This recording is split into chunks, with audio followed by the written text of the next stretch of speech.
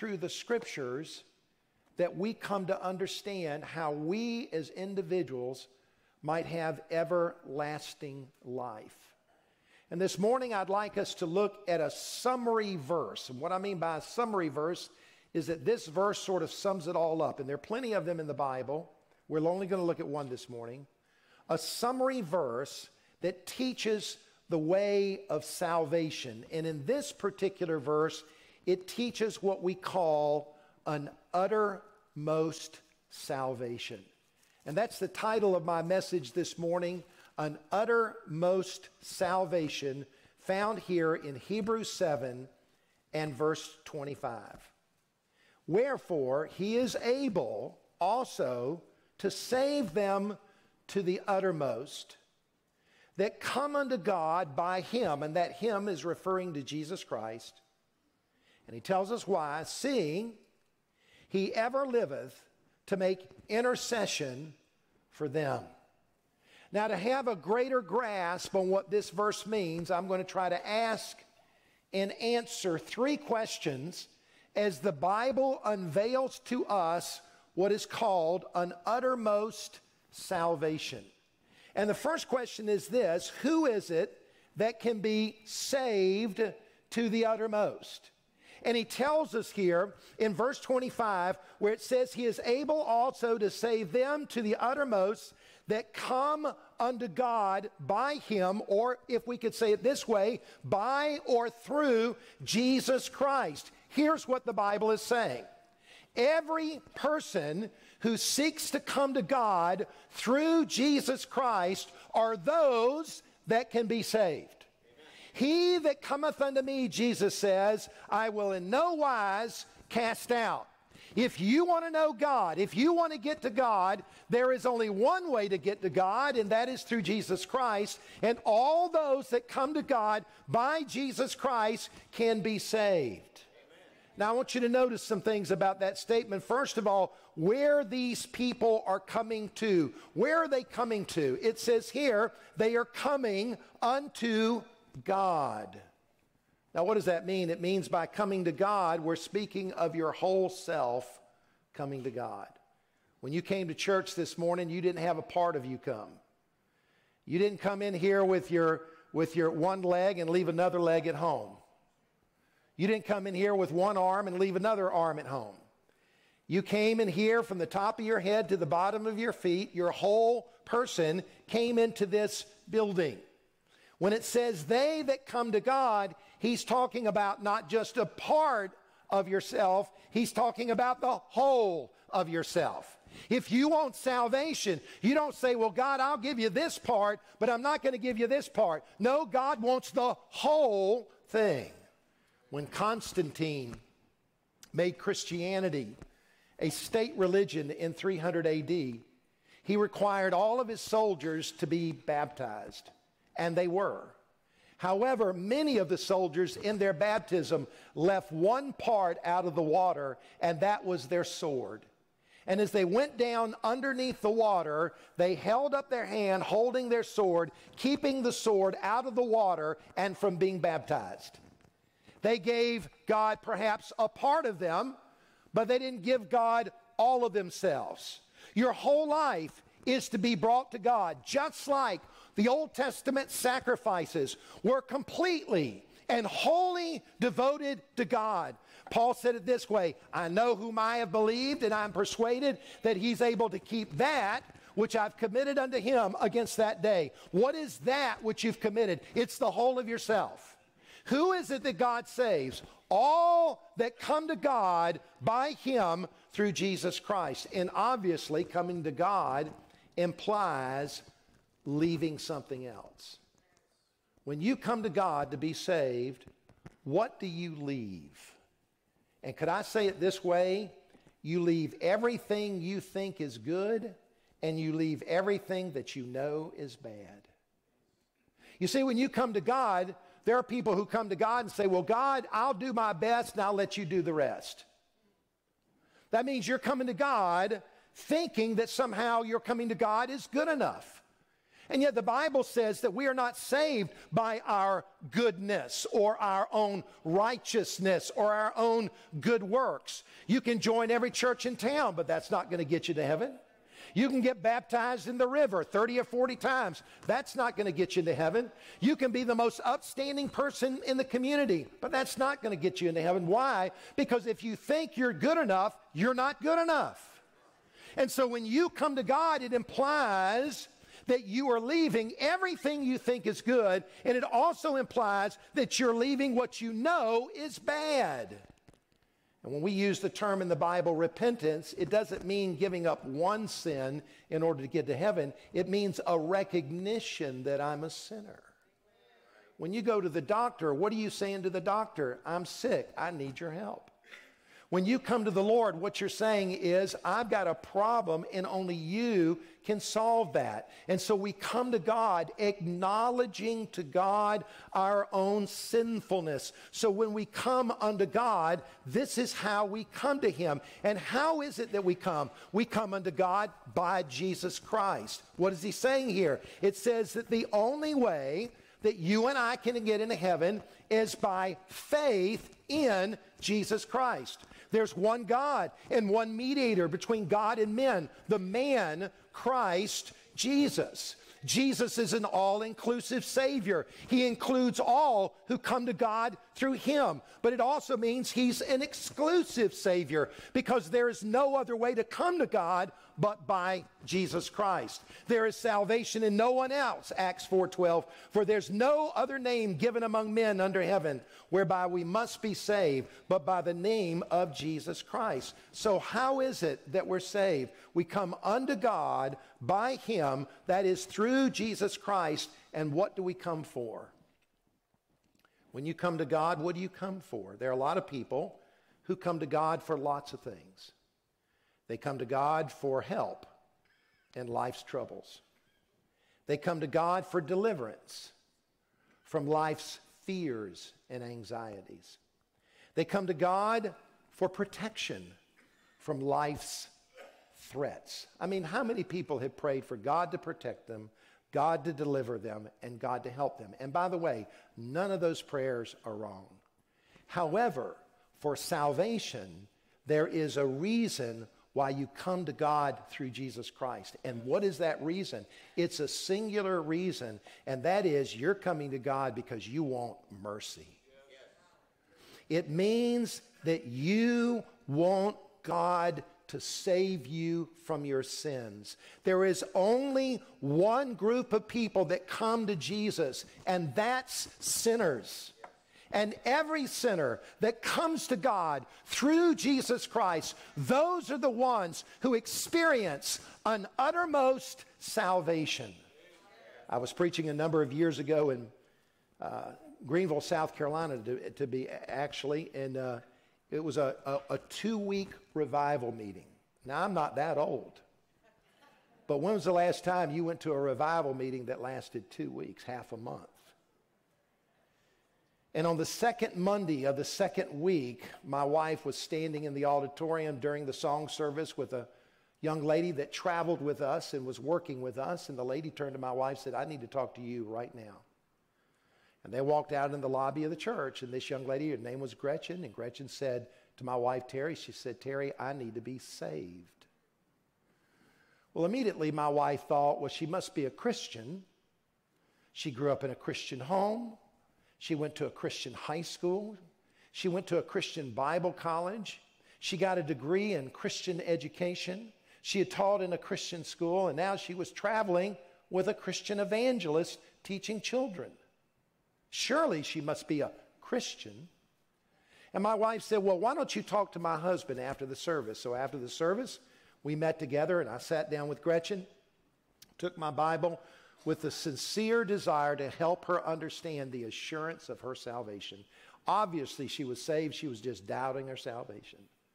So I asked her some very, what I call generic questions. Number one, when do you believe you got saved? And here's what she said to me She said, Steve, I've always believed that Jesus is the Savior. I just never understood why I needed Him. That's called a red flag. And she told me how she'd grown up believing in Jesus all of her life, but she believed in who he was, what he came to do, but she never experienced what it meant to trust Jesus to deliver her from her own sins. And so the rest of the time, all I talked about was her sins. You would have thought she would have gotten saved. She didn't get saved. You would have thought she would have got better. She didn't get better, she got worse. And for the next week, I've never seen anybody so absolutely miserable over their own sinfulness, over the way that they lived, the kind of person that they were. And one week later, she came back to our trailer that we were living in, walked in, literally got on her knees, and she said, I'm ready to get saved. You know what her problem was? She's what wasn't that she didn't know that she needed God, she didn't want to admit she needed mercy. And who is it that comes to God by Jesus Christ? Only those who recognize they need God's mercy. Do you recognize you need God's mercy? Yes. Have you ever cried out to God, Be merciful to me, O Lord, a sinner? The whole idea of coming to God is the implication that I am seeking the mercy of God. This is the one that the Lord saves to the uttermost. And that leads me to the second question and that is how far does this salvation extend? What are the boundaries of this salvation? And notice what our text says it says, He is able to save them to the uttermost. What does uttermost actually mean? It's an adjective describing our salvation. It comes from two words in the Greek language which really describes the fullness of uttermost. Number one, it means he's able to save all who come to him. That is, it extends to the uttermost guilt. That is this that no one is beyond the power of the, of the Savior to save. He is able to save the absolute worst of sinners to the uttermost guilt. Back in the early 1990s, I traveled overseas on a missions trip to Siberia, East Russia. It was right after the Berlin Wall had fallen and communism had fallen in Russia, and the, the doors were open for Westerners to come and for people to come and preach the gospel. We flew from the United States up to, well, we flew up to Anchorage, Alaska, and from there we flew into the Far East of Russia into a city called Khabarovsk, which is located just above the North Korea border.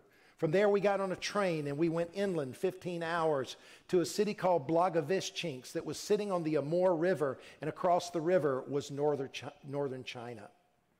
And on that trip, 15 hours is a long time to be on a train.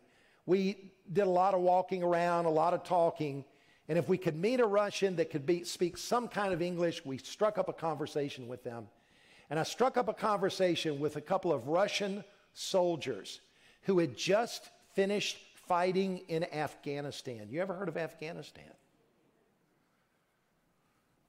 And I began to share the gospel with them, and began to explain to them how Jesus Christ died for them and how they could be saved and forgiven of their sins. Now, here we are on the other side of the world, and you know what their response was? The same response you would hear from people all over the world. They said to me, God cannot forgive me because we have committed too many sins.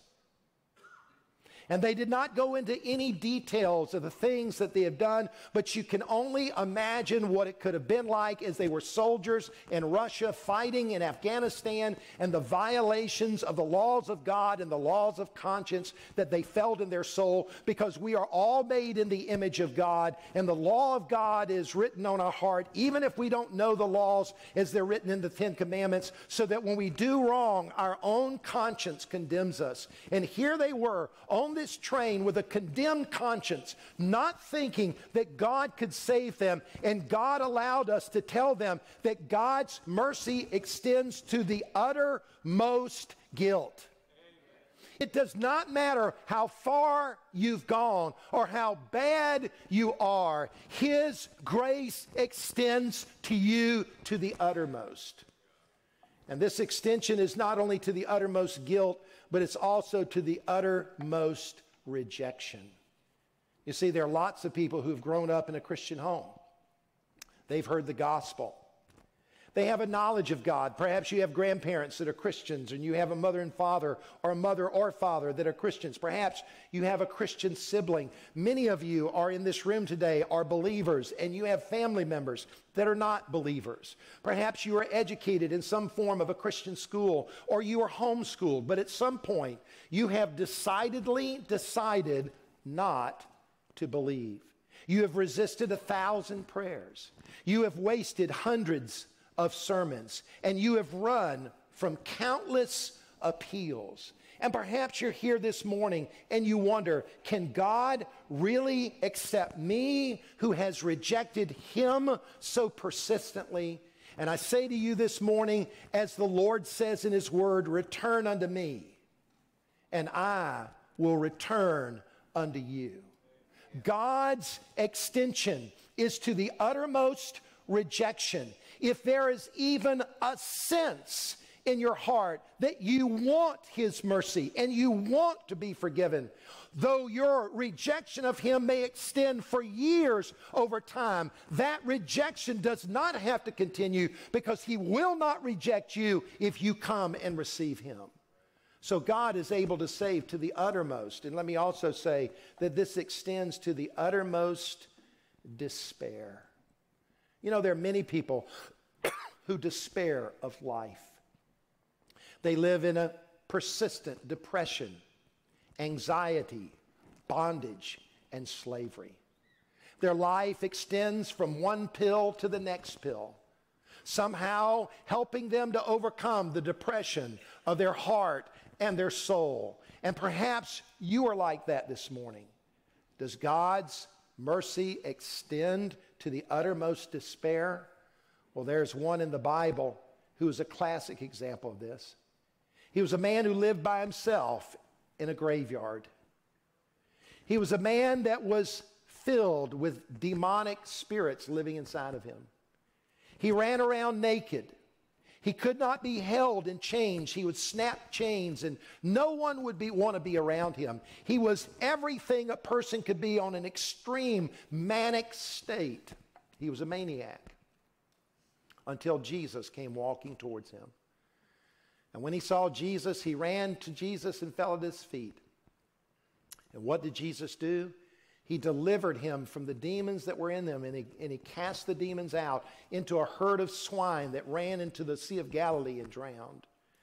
And when we read the Bible, what do we discover about this man who was, who was naked, who was in bondage, who, who was running around, who was living a life out of control? We find him sitting at the feet of Jesus, clothed and in his right mind.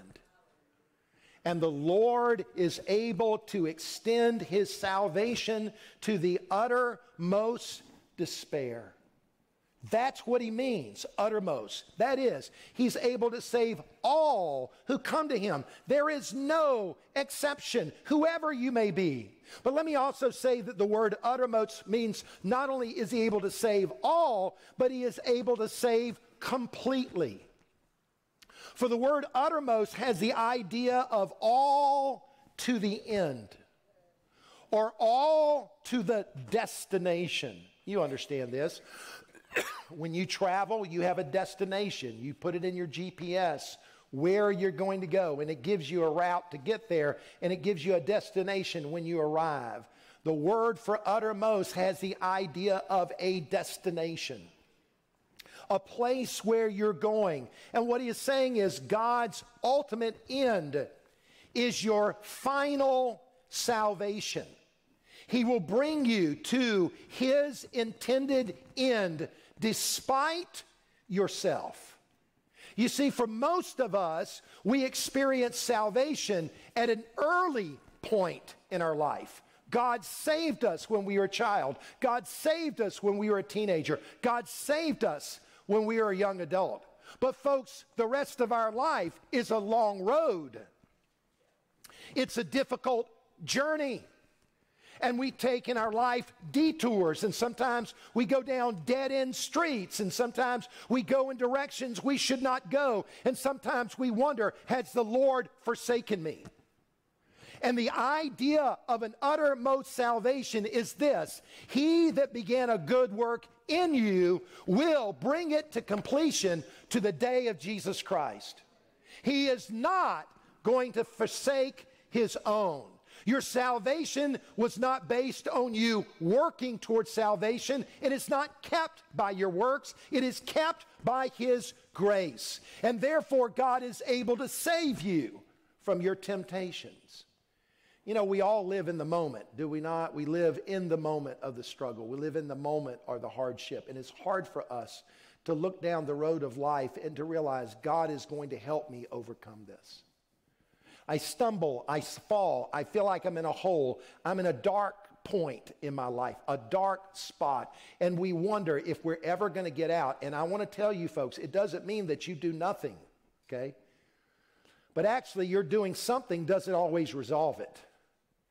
It is your coming to the Lord, and just like the Lord saved you at a point in time, God saves you at this point in time the same way. You come to Him, you repent of your sin, you put your faith in Jesus Christ, and He brings you out of that dark spot, and He brings you out of that hole. He saves you. This uttermost salvation is God's ability to deliver you, to deliver you from temptations, to deliver you from your infirmities. I'm looking at in a room this morning with folks that a couple of you are over 50.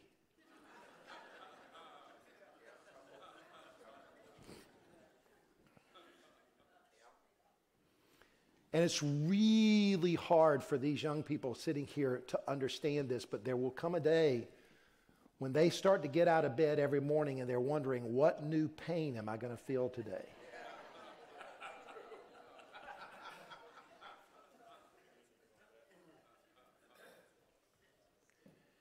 And I'm convinced of this because I'm learning this that one of the greatest struggles of our life spiritually are actually our infirmities, our sicknesses, our cancer, problems that we have with our liver or our lungs.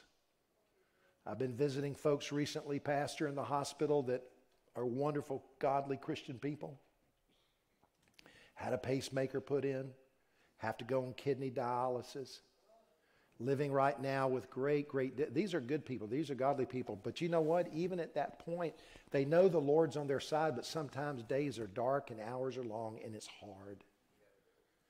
And even in those darkest hours of struggle and those times that you go through, the Lord has made a promise. His salvation is to the uttermost. I had a pastor friend of mine who died the very year that I went to Bob Jones University, 2014. He was 50 years old. We were personally very good friends. I preached in his church many times. He was one of the nicest people on the planet. And he called me up one day. this was like in May of 2014. First words out of his mouth, he said, Steve, I'm dying. I went, What in the, his name was Tom. I said, Tom, what in the world are you talking about? He says, I was just diagnosed with pancreatic cancer, 50 years old. I said, I'll be at your church on Sunday. He said, Would you preach? I said, I'd love to. And so I drove up to Knoxville, Tennessee, Oak Ridge, Tennessee to be exact, and went to his church and preached there. And I've known Tom a long time, but he had lost a considerable amount of weight. It was very obvious he had a problem. I asked him, I said, Have you ever preached at Bob Jones University? He said, I've never preached there. I said, I got a date for you in September this fall. He never made it. He passed away in August. And I was thinking about him as I was walking around in the grocery store with my wife one day, and I texted him. And there's an old song that I remembered, and the words go like this I'm not holding on to Jesus, but Jesus is holding on to me. And I wrote him that. I said, because at this point, it's not about how faithful you are to the end, it's about how faithful He is to the end. Because at this point, there's nothing you can do but trust. Tom went to be with the Lord, and he actually went to be with the Lord it's, with some unusual experiences in his life. And yet, he is a proof that when God saves you, my friend, he saves you to the uttermost, to the end. It is a complete and total salvation. That's what he does for you. And that leads me to the third and final thing, and that is why is it that Jesus is able to save to the uttermost? Why is it that we have this confidence? Okay, may, all right, let's be honest. It comforts me to know that God's going to be faithful, but why? What is it that's happening that I can know that this is actually true? And notice what he says in verse 25. He says, He's able to save them to the uttermost that come unto God by him. Why? Seeing he ever lives to make intercession for them.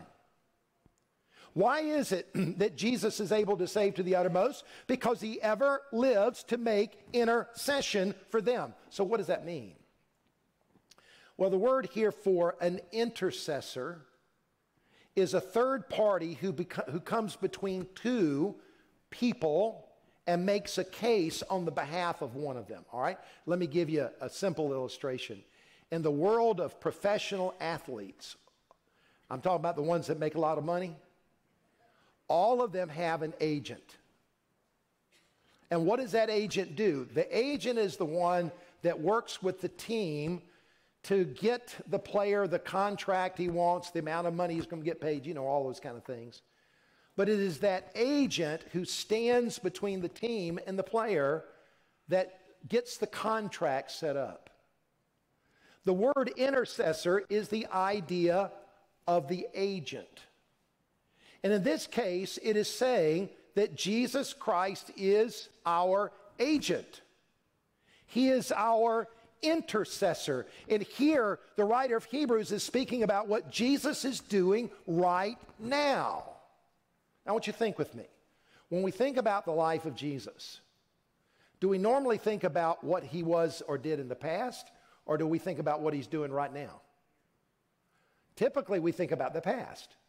So when we think about the life of Jesus, we think about his incarnation. God became man in human flesh, the baby born in Bethlehem. Or we think about Jesus on a cross being crucified outside the city walls of Jerusalem, dying on the cross for our sins. Or we think of Jesus coming out of the tomb, resurrecting from the dead, and leaving that tomb empty.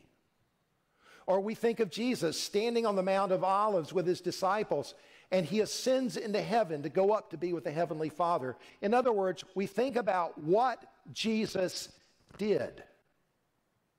But the question is, what is Jesus doing? It is now, today is the, what is it today? 13th of February? That's right, because tomorrow's Valentine's Days. I haven't gotten flowers yet. So to, this is the 13th of February. It's 1159. What is Jesus doing right now? Well, the writer of Hebrews tells us he is ever living to make intercession for us right now. Now, what does that mean for me? What is it that's happening right now that is so important to help me to understand I'm saved to the uttermost? Well, you have to go back in the Old Testament. And back in the Old Testament, God had established a way in which the Jewish people can have a relationship with Him, and that is through a construction called the tabernacle and later changed to the temple, essentially the same basic thing. And essentially, God established a way that man can have a relationship with God through what we call a priesthood. And there were designated priests, came from a tribe called the Levites, the Levitical priests. And they offered animal sacrifices of a particular type, and those sacrifices were, were offered for the people's sins. And once a year, the high priest of Israel would go into what was known the Holy of Holies, a room in the temple. And there offered this sac- a sacrifice to God for the sins of the people, and then he would leave. And there were three basic problems with that Old Testament methodology. Number one, those sacrifices were animal sacrifices and they could never take away sin, but therefore they had to perpetually offer them. Number two, the priest could never stay in the presence of God permanently because if he did, he would die.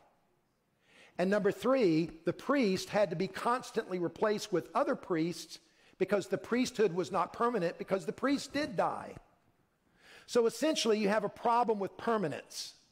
No permanent sacrifice, no permanent offering, no permanent priest. Therefore, the people lived in an insecurity. And when the Bible says Jesus ever lives to make intercession, what is he talking about? Would you go back and look at Hebrews chapter 7, verse 22? Let me read 22, 23, and 24. It says, But so much was Jesus made a surety, that's a security, of a better testament.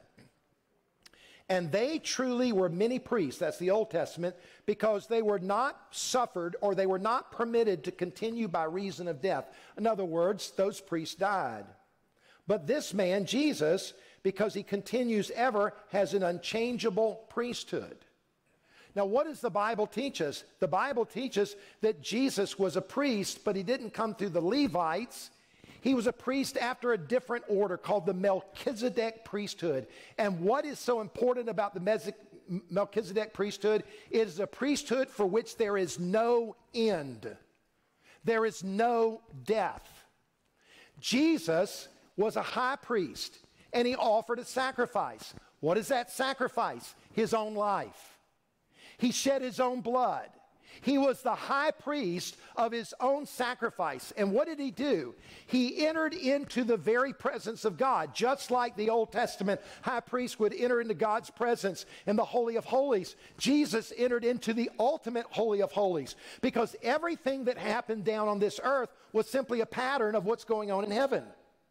And that's how we understand what happened. And what do we know? Jesus entered into that Holy of Holies, the very presence of God. He offered his own blood as the sacrifice for our sins, and he didn't leave the Father's presence. He is in the Father's presence right now. And when it says he ever lives to make intercession for us, it means that we have permanence, we have security, we have a sacrifice, a priest, and we have an offering that has been given for us. And folks, we can't not be saved because Jesus is ever living for us. In other words, it's not about if you mess up, it's about if he messes up. And he's not going to mess up. And so, for all of us, we mess up, we fall, we sin. We have an advocate. If we sin, Jesus will forgive us on this earth. But ultimately, we have one who ever lives to intercede for us. And because we have him in the presence of God for us, that means that we will be saved to the uttermost. Before the throne of God above, I have a strong and perfect plea. A great high priest whose name is love, whoever lives and pleads for me. My name is graven on his heart. My name is written on his hands. I know that while in heaven he stands, no tongue can thence make me depart, essentially, is what he's saying. You and I can be saved to the uttermost because Jesus is in the presence of the Father for you and I right now. And that's why Paul could say, Whosoever shall call upon the name of the Lord shall be saved. Friend, if you've never called on the Lord today, you need to be saved. And you have a Savior who will save you to the uttermost. Would you bow your head with me, please, as we pray? While our heads are bowed and our eyes are closed, may I ask this question this morning? How many of you would say, Preacher, I'm not all that I ought to be, I'm not all that I want to be, but I know this I've been saved. And if I died today by the grace of God, I know that I would go to heaven because I have come unto God by Jesus Christ, and the Lord has saved me to the uttermost. How many of you know if you're saved? If you are, would you raise your hand and hold it up? God bless you. may put your hands down. Now, let me ask this question Is there one who would say today, Preacher, if I died, I don't know I'd go to heaven? I've wondered if God could forgive me. I've done so many things for which I'm ashamed. Or perhaps you're here today and you've been doubting your salvation for a long time, wondering, God, can you really save me? And I, we'd like to pray for you this morning. No doubt God's brought you here today. You're here on purpose. It's His plan, even if it wasn't your plan. And you'd say, Preacher, would you pray for me? For if I died today, I am not sure that I would go to heaven, but I want that security. Please pray for me. Would you lift your hand right where you're seated? Pray for me today, preacher. If I died, I don't know that I would go to heaven. Pray for me. I'd like to pray for you. Just lift your hand right where you're seated. Pray for me. All right, let me ask this final question. Is there one today who would say, Preacher, I do know I'm saved, but both in Sunday school and in this morning service, the Lord spoke to my heart about my sins, things in my life for which I felt guilty over. And I know I'm saved, but I also know I need to come to my friend Jesus, who advocates for me by cleansing me from my sins. I need to come to him today for personal cleansing and spiritual renewal in my heart, just like Peter denied the Lord. So I've denied the Lord in areas of my life. And you'd say, Pray for me, preacher. God spoke into my heart as a Christian. And I know that there are things in my life I need to confess to Him today. Pray for me. Would you lift your hand right where you're seated all over the building today? Pray for me. Pray for me. God bless you. you may put your hands down. Now, Lord, thank you for your grace and mercy. Thank you for your unchanging truth. And I pray that you'll bless it now in Jesus' name. Amen.